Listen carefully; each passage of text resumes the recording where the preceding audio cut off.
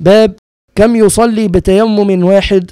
وعن عبد الرزاق رحمه الله عن الحسن بن عمارة عن الحكم عن مجاهد عن ابن عباس رضي الله عنهما قال من السنة ألا يصلي الرجل بالتيمم إلا صلاة واحدة ثم يتيمم للصلاة الأخرى.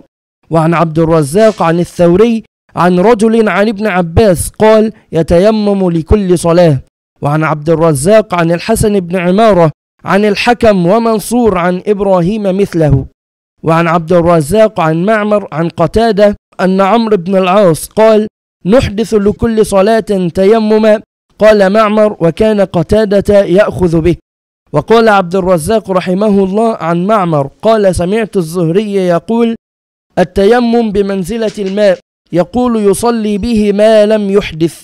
وقال عبد الرزاق رحمه الله عن سعيد بن بشير عن قتادة عن الحسن وابن المسيب قال يتيمم ويجزيه الصلوات كلها ما لم يحدث هو بمنزلة الماء. وعن عبد الرزاق رحمه الله عن الثوري عن عمرو بن عبيد عن الحسن قال يجزئ بتيمم واحد ما لم يحدث. هذه مسألة عظيمة جدا هي مسألة التيمم رافع أم مبيح؟ هذه المسألة مسألة التيمم رافع للحدث أم هو مبيح؟ جماهير الفقهاء من السلف والخلف يرونه مبيحا لا يرونه رافعا. يرونه بدلا مبيحا فقط لا رافعا. فلذلك قالوا يتم يتيمم لكل صلاة. وهذا قول ابن عباس رضي الله عنه وأرضاه عن قول الشافعية والمالكية هو قول جماهير الفقهاء. والصحيح الراجح الذي يعني أسعد الناس بالدليل يقولون أنه أنه رافع للحدث لا مبيح. لا سيما أن الإسلام قال الصعيد الطيب إيش؟ طهور وهذا الطهور رافع الحدث. الطهور لا يكون إلا لرفع الحدث. وأيضا أيضا نعم؟ ولكن ما يريد ما يريد الله عليكم في الدين من حرج ولكن يريد ليطهركم به. ويطهركم هذا رفع الحدث. هذه آية وأحاديث تثبت هذا الحكم بأنه يطهر يعني يرفع الحدث. والأمر الثاني أن البدل يأخذ حكم الإيش؟ مبدل. والمبدل أصالة يرفع الحدث فهو رافع للحدث ليس مبيحا؟ فإنه إن تيمم يصلي كل الصلوات ما لم يحدث كما قال الزهري وقال قتادة وقال الحسن وقال ابن مسيب وهذا قول الفقهاء السبعة. فقهاء أو, أو أغلب فقهاء المدينة السبعة. أغلب فقهاء المدينة السبعة أيضا يقولون بأنه رافع للحدث وليس مبيحا. هذه آخر المسائل في هذا الباب. يتيمم لفريضة واحدة ويصلي بها الخمس فرائض ما لم يحدث. لا إن وجد الماء هنا مسألة أخرى ستأتي. وجود الماء ناقض أيضا للتيمم. نتكلم على معنى انعدام الماء.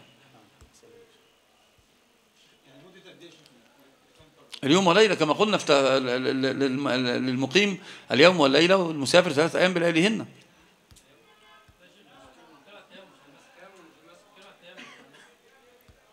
نتكلم على إيش؟ في إيش؟ آه التيمم لمدة إيش؟ ما لم يحدث. التوقيت ما لم يحدث.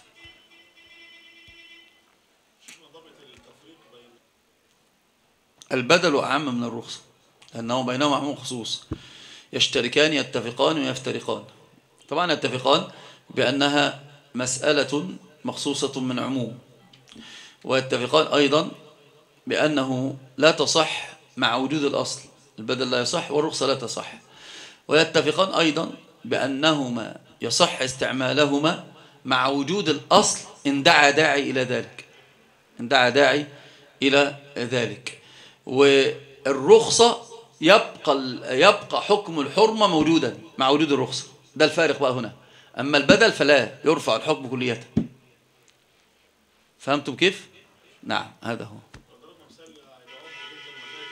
مسألة المسح هنا. رافع اهو رافع وليس إيه مبيحا فهنا الحكم متبتل نسأل الله أن يعلمنا وإياكم. في أي شيء ثاني؟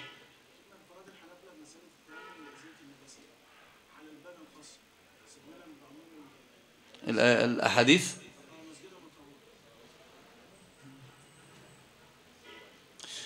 مع وجود العين؟ أمر صعب جدا شاق.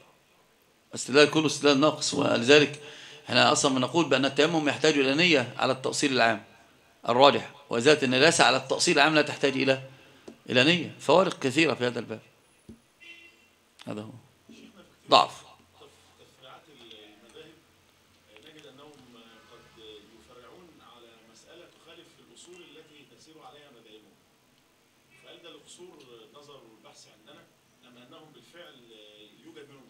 لا يوجد منهم ذلك. يوجد منهم ذلك. وانت ترى حتى الشافعية يقولون بعدم سد الذريعة وثلاث أرباع الفروع كلها فيها سد الذريعة فاهمنا آه يعني آه، يوجد منهم. يلجأ يلجؤون إلى ذلك. أسأل الله أن ربنا ينفع بكم. جزاكم الله عنا خيرا. سبحانك اللهم ربنا وبحمدك أشهد أن لا إله إلا أنت. أستغفرك وأتوب إليك.